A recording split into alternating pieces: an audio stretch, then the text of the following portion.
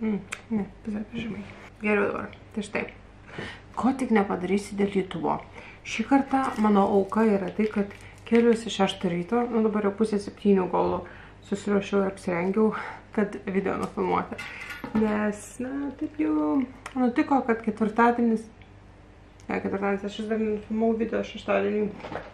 Taigi, ką mes šiandien darysim, tai mes šiandien mėginsime tirti ir pudrą ir tada eisim kartu su manim į darbą visą dieną. Ir toliau žiūrėsim, kaip, kaip man jinai patinka dienos eigoje. Tai štai aš jau visą savo veido priežiūrą pasidarius. Iš karto beveik galėtumėm eiti su ją, bet aš čia turėjau hmm, reikalų, mėnesinės nesiniai buvo. Tai nežinau, dabar galvoju, reikia man maskvoklio prieš šitai ar ne. Bet iš tikrųjų gal ir nereikia. Tik to einam su šituo ir žiūrim, kaip, kaip seksis, ne? Nes iš tikrųjų šiuo metu, ne tik šiuo metu apskritai, anksčiau būdavo labai ten kažkas matosi, maskuoti ir panašiai, dabar iš tikrųjų man zen. Štai nauja, dar nemėginta. Atidarinėjom. O, e, ir čia iš karto vat, jau matosi pudra. O, kaip įdomiai atsidaro. Tikiuosi spalva gera. Nes kaip ir į darbą ruošiuosi.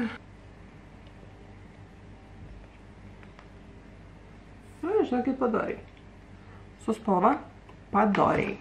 Mano veidrodukas. Taip ir galvoju, atsimenu, kad a, per atsiliepimus mačiau, kad jinai oksiduojasi. Tai dabar tik išpakuotės jinai tų posfos ir gelsva man per tamsi. Bet gal nenusioksiduos labai, nes jeigu nuoksiduos, tai tada aš turėsiu problemą. Kad mano kaklas skirsis nuo veido. Bet vienu paspaudimu iš tikrųjų labai daug veido pasidažiau, žymiai daugiau negu suklijo. Ir mes turime labai gerą maskavimą. Man tikrai jokio maskuoklio nereikia. Ir iš tikrųjų būčiau galėjus ir ploniau tepti. Tai ir tyras tiek daug išleidžia visokių naujų spalvų, kur reikia pažiūrėti, galbūt dar ir ką nors šviesės išleis negu šitą. Oi, nepasakiau, mano spalva, ką aš čia turiu, yra 17C porcelanas. Tai aš šviesiau už porcelaną. Tai štai, kadangi produktas toksai tuštokas, man labai įdomu bus matyti per dieną, ar subėgs rūkšlėlės, ar kažkokias aplink nosį, man čia būna vietos mėgsta subėgti. Tai štai labai taip greit ir paprastai mano veidas pasidažė. Šitas kažkiek tais matosi, čia tokių, kur ant žandų buvo, žandos makro buvo dėmelių ir panašiai, kaip ir nieko nesimato, aš esu labai patenkinta, kaip užsimaskavo. Tai jo, dabar reikia man pasidaryti liuskusi visą veidą ir mes keliausime į darbą iš dienos metu, pasižiūrėsime, kaip visą štai laikosi, nes jo, kaip ir sakiau jau, užsidėpiau biškai gal per storai. Žiūrėsim, kaip bus su subėgimais. Ką tik užsitepiau kreminio skaistalo ir tas ta praėjo. Atrodo, lyg niekur nieko, jokių dėmių. Jūs tik pažiūrėkit, kokia graži diena šiandien. Mėlynas dangus. Aš esu jau Holland Park, einu link ofiso ir apšvietimas ten kažką. Reikia kitą kampą susirasti. Nežinau, kaip daryti visą šitai, nes šešėlį atrodo per tamsu. Tada išeini saulė ir bum, balta viskas, nieko nematau. Tai gal čia kažkiek galima bus matyti, bet, žodžiu, tai kaip ir sakiau, truputėlį per tamsi, bet labai nedaug, manau, vasaros pabaigoj šitas būtų super produktas, bet dabar toks lengvas skirtumas yra, bet, nu, ne tiek, kad man norisi nusiprausti, tai pliusas, O šios dienos mano makiažas, tai be abejo, yra visas mano pilnas stalčius, plus a, man pasirodė, kad tas mano šešėlis, o, kiek per tamsi gavosi, tai aš tokį blizgutį naują nusprendžiau užsidėti ant viršaus, tai dabar ne tik tais, kad jisai ryškus pakankamai, bet dar ir labai blizgus. Tai va, gal kažkurio momentu rasiu geresnį kampą parodyti. Nu ką, žinokit, pusė septynių, aš vis dar ofise, gal ilga diena, dėl to tik tais dabar yra mūsų pirmas makiažo pasitikrinimas, kaip jis laikosi. Tai realiai galiu pasakyti taip pat. Čia visiškai nieko nei pudrau, nieko, nes praktiškai neturiu laiko.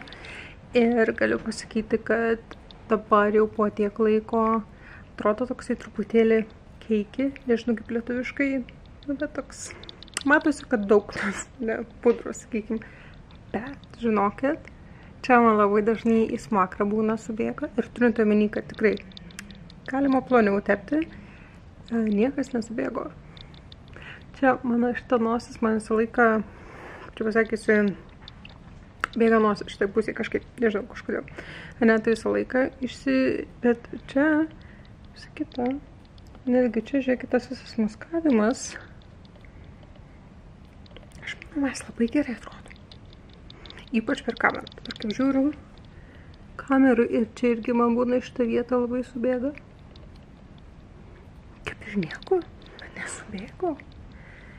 Um, yra labai smagu, nes tos tokios stipriai maskuojančios pudros, tokios tirštesnės atrodo, kur gerai laikosi, man būna jie subėga. Nu čia, o išeisiu, man atrodo, čia dar geresnis apšvietimas. Man atrodo, mes labai gerai atrodom dienos pabaigoj. Tai žinokit, aš manau, kad aš kaip ir užskaitau. Man dabar labai labai įdomu pasidažyti, na, plonesniu sluoksniu. Ne, nes dabar jaučiuosi, kad iškai per daug. Labai geras įspūdis, tai gal, gal visgi šitas pamišimas visų ir pagiros tai tirti ir pudrai žodžiu. Pavargus iš tikrųjų nežinau, ką aš neku, tai varau namo. Pasimatysi namie paskutiniam įvertinimui. Nu ką, po 8.20 ir mes pagaliau namie. Visai šviesa vakaro, neblogai krenta, tai vėl galime įvertinti paskutinį kartą a, mūsų makiažą ir pažiūrėti, ką mes apie įmanom, bet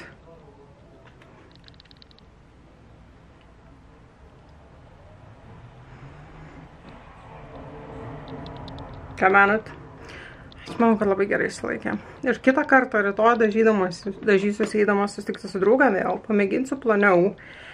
Ir aš esu iš tikrųjų apšalus, ant kiek jinai nesubėgo. Nes būtent tos visos pudros, kurias aš turiu, tos korietiškus, kitas ir panašiai, mano didžiausia problema buvo tai, kad man jos subėgdavo.